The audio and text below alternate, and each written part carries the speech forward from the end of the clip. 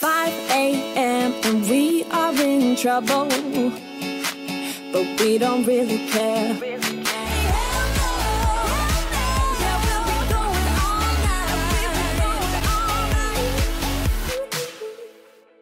Oi gente, tudo bom com vocês? Hoje eu trouxe mais um vídeo falando sobre alguns erros de beleza. Recentemente eu gravei um vídeo aqui pro canal compartilhando alguns erros que normalmente a gente comete especificamente na maquiagem. E nesse vídeo eu resolvi englobar um pouco mais assim na maquiagem e nos cuidados em geral assim com o nosso corpite, né? Eu espero muito que vocês gostem. Com certeza você vai se identificar com algum erro que você faz ou que você fazia errado, mas que você já descobriu como faz, certo, né? Não esqueça de clicar muito no gostei, de participar do sorteio que tá rolando aqui, ó, no Instagram. Nessa foto, essa daqui é a foto oficial, tá, do sorteio. São três ganhadoras, são prêmios muito legais, então participem, vocês podem participar quantas vezes quiserem. E também não esqueça de assistir o vídeo com os piores erros da maquiagem, tá bom? E agora sim, vamos pro vídeo! Bom, gente, existem dois erros ao aplicar cílios postiços que são muito comuns. Então, o primeiro erro mais comum é quando você compra os cílios postiços, ele vem grandão na caixinha, e o erro mais comum é você tirar os cílios e já colar direto nos olhos sem antes medir. Normalmente esses cílios eles vêm bem grandes e você tem que medir nos seus olhos e cortar às vezes uma pontinha para ficar um tamanho bonito e natural, né? Então, antes de aplicar os cílios postiços novos, não esqueça de cortar, medir e cortar a pontinha que sobrou, tá? Aí depende, eu normalmente corto a pontinha aqui do lado extremo, sabe? Desse ladinho, mas você pode cortar a pontinha aqui desse lado também que não tem problema. E depois você mede os dois cílios e corta pra ficar os dois iguais, né? Você não precisa medir os dois olhos, é só medir o que você já cortou, cortou os dois e tá tudo certo, tudo igual. E aí o segundo erro ao aplicar cílios postiços é você passar a colinha ali na raizinha dos cílios e colar logo em seguida. Isso é o erro mais comum e é o principal erro pelo qual as pessoas não conseguem aplicar cílios postiços nos olhos. O truque é você passar a colinha ali na raiz dos cílios e esperar uns dois minutinhos. Você pode assoprar com a boca, você pode fazer outra coisa, enfim, e deixar secando. Porque se você cola logo quando você passou a cola, ela vai ficar meio que sambando ali no seu olho não vai colar direito, não vai prender. E se você esperar a cola ficar mais grudentinha, a hora que você posicionar nos seus olhos é onde ela vai ficar, é tira e queda. Aí você vai arrasar, vai colocar os cílios rapidinho. Aí você não vai ter aquele problema de quando você arruma esse cantinho, esse daqui descola. Daí você vem, cola esse, esse daqui descola. Tá aí problemas resolvidos. Sabe aquelas esponjinhas de aplicar base, corretivos, as famosas Beauty Blender? Então, o erro mais comum quando a pessoa compra ou ganha uma é querer passar a base ou corretivo com ela seca. Você pode agredir a sua pele, fazer com que a esponjinha rache, não tem um efeito ideal usando a esponjinha dessa forma. A forma certa de usar Beauty Blender é molhando um pouco antes, deixando ela úmida. Você pode molhar, apertar para tirar o excesso de água e aí começar a usar, passando a base, aplicando no rosto, aí você vai ver que o resultado é bem melhor, fica um efeito bem mais bonito na pele e você vai ver que vai dar pra aproveitar muito mais.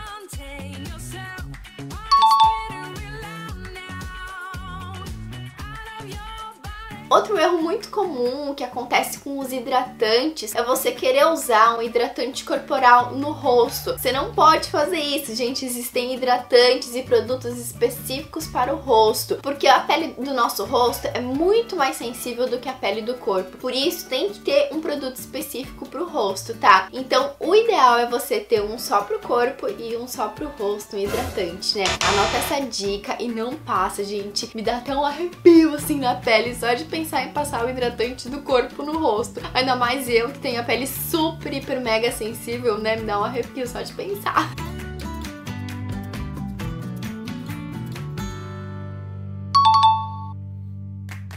Outro erro de beleza que prejudica tanto a nossa pele quanto o nosso cabelo é passar muito tempo no banho, gente. Principalmente agora no inverno, que a gente toma banho mais quentinho. O mais rápido possível é ideal. Eu sei que quando a gente chega do trabalho, vai lá, toma aquele banho quentinho, dá uma relaxada, né? E daí tá frio lá fora, a gente pensa, meu, eu quero ficar aqui horas no banho. Mas evite ao máximo ficar muito tempo em banho, principalmente quente. Além de prejudicar a sua pele e o seu cabelo, o planeta agradece, né? Porque você vai ficar desperdiçando água à toa, sendo que não precisa. Um banho rápido aí de 5 minutos já vai ajudar muito.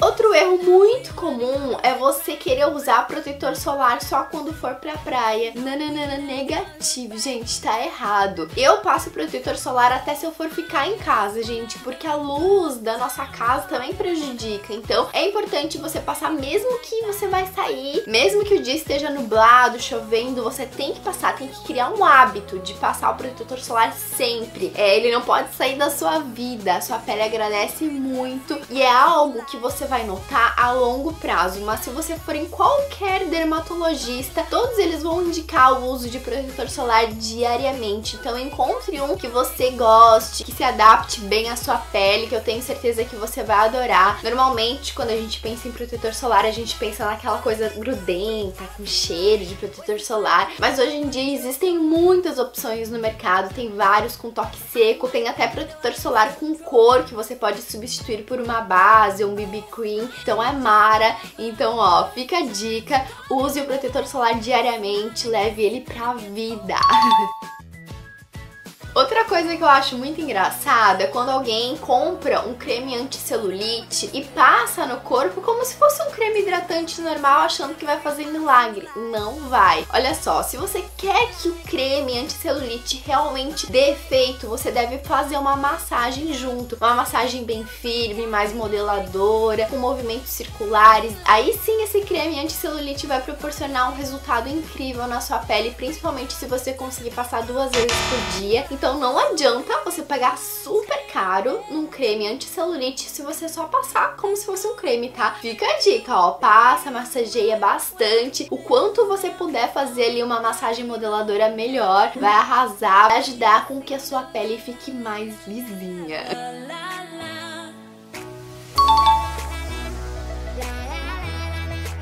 Quero saber quem aí já foi comprar uma base e foi testar a cor da base no pulso, gente? Quem aí me conta? Me conta aí nos comentários. Eu sei porque eu já fiz isso, gente. Todo mundo já fez uma vez na vida, mas não é certo, gente. Quando você for comprar uma base, o ideal é você testar no rosto ou no seu pescoço, porque a cor da nossa mão aqui, do nosso pulso, é mais escura do que a cor do nosso rosto. Então você automaticamente vai acabar pegando uma base mais escura, mas na hora de passar no seu rosto, vai ficar muito escuro, não vai dar certo e você vai ter gasto dinheiro à toa, né? Então, o ideal é sempre testar. Se você tiver de base e não puder testar no rosto, teste aqui no pescoço, ó, aqui perto da, da orelha, nessa área assim. Sempre você vai encontrar o tom mais ideal para sua pele de base, tá bom? Então fica a dica, nunca mais teste base no pulso, hein? Tô de olho em você.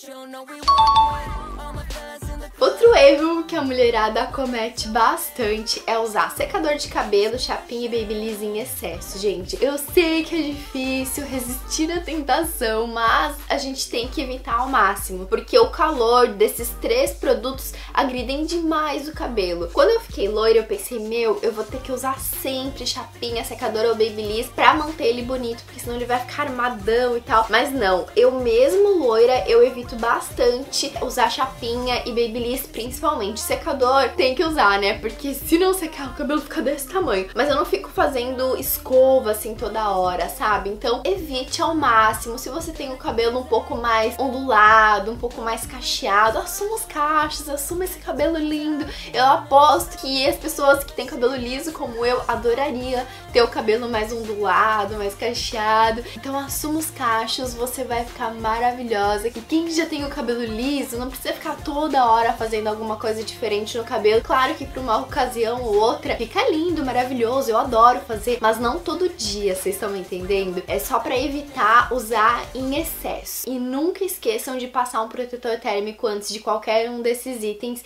que aí vai ajudar a proteger mais os seus fios. E por fim, o último erro é usar maquiagem vencida, gente. Muitas vezes a gente compra maquiagem e vai usando, vai usando. Hum, a maioria dos produtos duram muito tempo, né? Então você passa um, dois, três anos sem nem lembrar quando que você comprou, quando que é a data de validade daquele produto. Mas é legal você prestar atenção se a data de validade do produto vem só na embalagem, aquela que você joga fora. Tenta marcar em algum lugar do produto qual que é a data de vencimento dele para você não esquecer. E de repente, se você tá com alguma alergia na pele, usando demais assim alguma base que tá te dando coceira, que tá craquelando, que tá te dando alergia, confira a data de validade, porque provavelmente é isso, gente. É mais comum do que vocês imaginam usar maquiagem vencida. E na maioria das vezes a gente nem sabe, nem lembra que aquele produto venceu, né? Então fiquem de olho e façam as anotações nos produtos que vai facilitar a vida de vocês. E aí, gente, gostaram de saber um pouquinho desses erros de beleza que a gente comete bastante? Me conte aqui embaixo nos comentários qual erro que você mais fazia